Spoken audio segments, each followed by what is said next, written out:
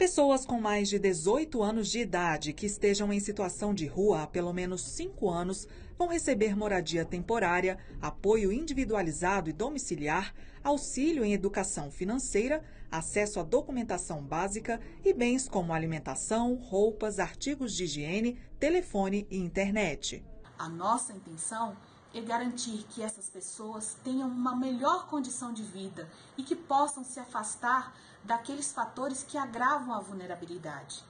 Para isso é importante que nós estejamos juntos com sociedade civil, governos, políticas públicas e todos engajados nesse grande projeto de proteção integral das pessoas em situação de rua.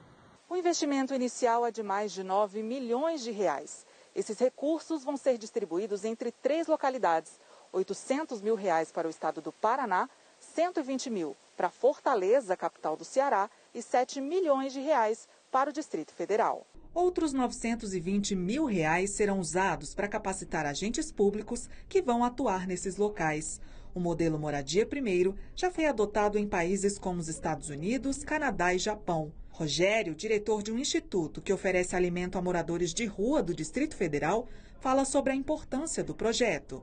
Eu acho que tem tudo para dar certo, para se tornar verdadeiramente uma política eficaz para que a maior parte dessa população de rua saia da rua e venha aderir a essa política.